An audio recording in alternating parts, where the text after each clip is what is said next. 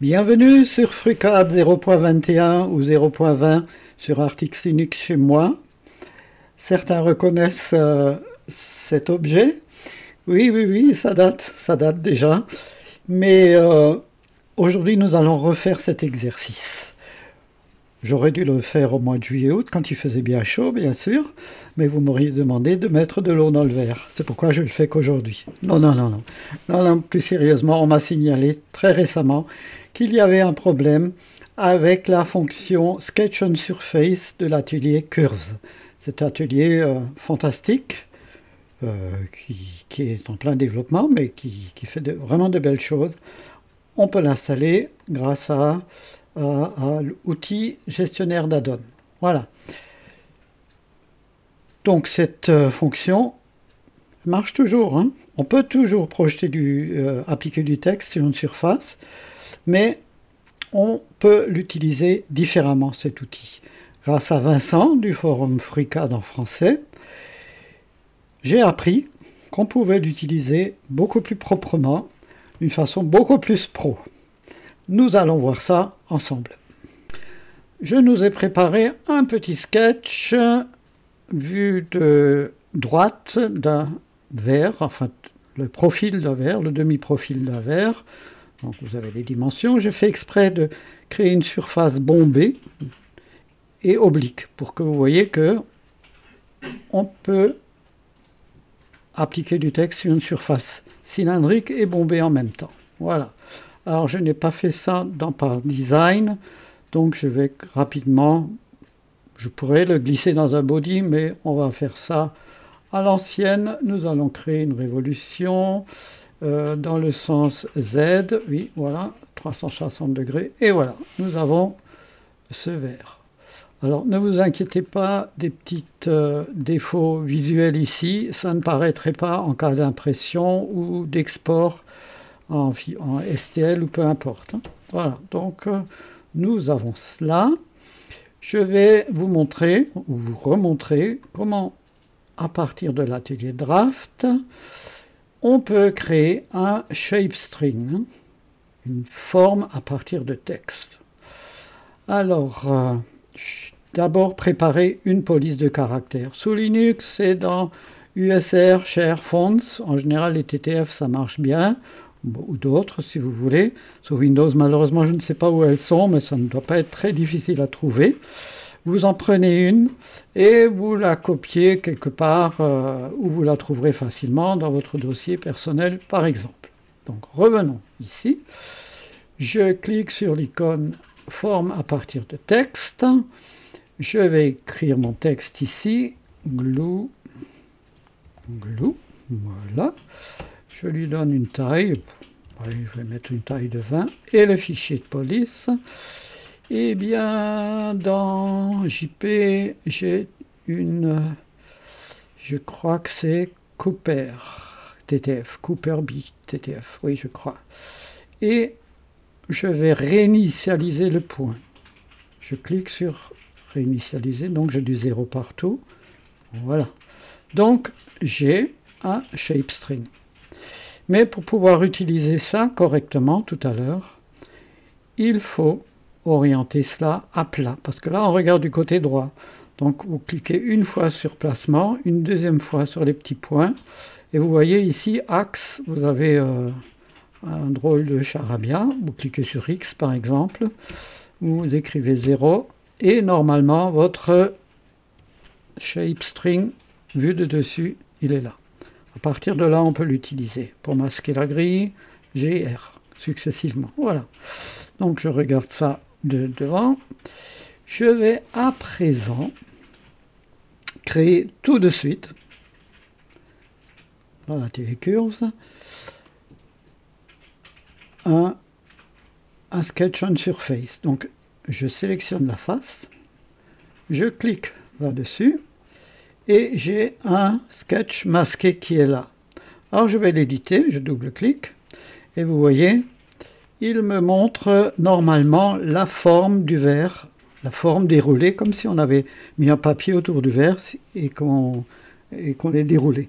Mais en fait, l'outil se trompe parfois, je dirais même souvent, mais c'est pas grave.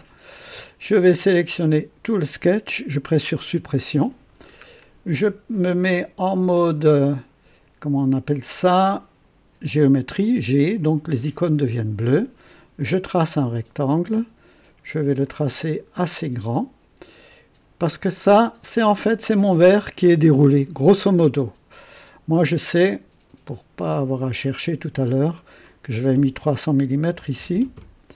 Mais ça, c'est à chacun de trouver après euh, ce qu'il cherche. 90, hein. voilà. Si je veux que mon texte apparaisse un peu vers le haut, voilà, je descends ma petite boîte, je fais ça, ok. Maintenant encore, faut-il renseigner FreeCAD sur l'objet, le shape string qu'on va utiliser. Alors vous sélectionnez shape, euh, sketch on surface, et là en bas vous avez extra objects. Attendez, je descends un petit peu, vous voyez extra objects. Cliquez une fois là-dessus, une deuxième fois sur les petits points, et là vous pouvez sélectionner votre shape string. Ok Il faut recalculer ou rafraîchir, et en principe, tout est bien il arrive, même bien souvent, que le texte soit à l'envers. Alors, pas d'affolement. Vous sélectionnez Sketch on Surface et vous, vous inversez votre texte. Souvent, c'est reverse V, donc on va l'inverser. On attend, voilà. Euh, reverse, ah non, je, voilà, voilà, autant pour moi. Voilà. On a ça, donc c'est déjà presque gagné à ce stade-là. Mais nous allons nous amuser vite fait à donner un peu de, relief à ce texte. Alors attention, dès lors que vous cochez que vous cochez que vous donnez une épaisseur, et surtout quand vous cochez, vous mettez fill face, remplir les faces sur through, ça va demander du temps. Surtout quand vous modifiez par la suite la boîte qui englobe votre texte. Donc préparez vraiment votre, l'aspect du texte d'abord. Là, maintenant, je peux lui indiquer une épaisseur.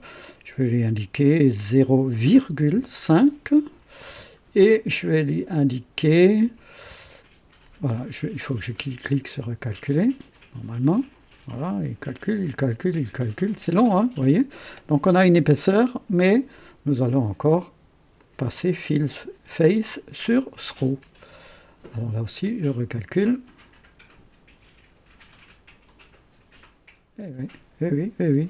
Quand je dis que c'est long, voilà. Mais ça marche, voilà. On est content. Hein. Donc là, on peut s'amuser, on peut lui donner une couleur à ce truc-là, hein, à, ce, à ce texte. Voilà. C'est bien. Maintenant, on peut aussi travailler, on peut créer du texte en creux, si on veut. Attendez, je vais m'amuser, je vais donner une couleur bleue à ce vert. Voilà. Ça, c'est plus joli. Je repasse ici. Alors là, je vais donner une épaisseur de 1 mm à, mon sketch on surface. J'attends, j'attends. Voilà. Et maintenant, je vais créer un offset, un, un décalage, si vous voulez, de 0,5, non, moins 0,5. Moins 0,5, sinon ça ne marchera pas. Moins 0,5, voilà. J'attends. Il a fini de mouliner là en bas. Voilà, je regarde dessus et je vois, je vois, je vois quoi? Je vois normalement. Ah oui, il faudrait le voir en transparence. Vous voyez, mon texte, il est un peu, il est rentré dans le verre. Vous voyez, si j'efface, si je masque le verre, voilà, on est un peu à l'intérieur. Voilà. Donc, maintenant, si on veut vraiment créer un texte creux, nous passons dans l'atelier Part. Je sélectionne ce que je veux conserver. Je presse CTRL et je sélectionne ce que je veux utiliser pour découper. Et je clique sur Soustraction. Voilà, au bout d'un moment, au bout d'un moment, le miracle opère et nous avons un texte en creux sur le verre. Vous voyez, l'outil fonctionne toujours. On est bien content de pouvoir s'en servir parce que quand même du texte, on aime bien en mettre sur nos objets imprimés. Et bien voilà, l'outil Sketch on Surface fonctionne toujours, un peu différemment, mais très bien. Et ce que je veux encore vous préciser, à la fin, là on a mis qu'un seul extra object, mais vous savez, on peut en mettre plusieurs. Hein. Je, peux, je peux créer un deuxième shape string par exemple, et on peut appliquer un deuxième texte en même temps. Voilà. Je suis content d'avoir trouvé cette solution grâce à Vincent que je remercie au passage. À bientôt pour d'autres vidéos.